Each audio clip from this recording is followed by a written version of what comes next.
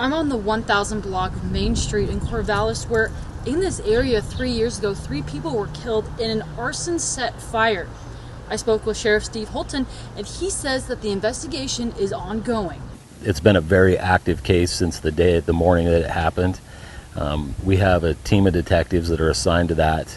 We're also working closely with um, fire investigators and experts with the alcohol, tobacco, and firearms, and also the FBI.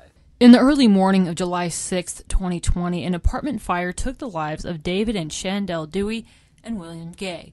Investigators ruled out accidental causes such as electrical problems.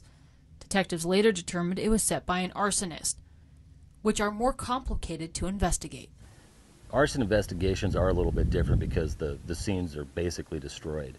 However, there are techniques and, and ways to identify if accelerants were used and where the fire, the, find the origin of the fire.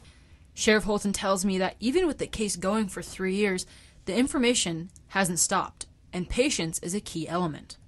Um, one thing we'd really like to is somebody remembers or noticed just strange behavior by somebody um, somebody that either wouldn't talk about it at all or talked about it maybe too much.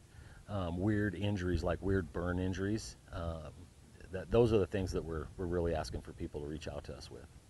In Corvallis, I'm Catherine Rowley, MTN News.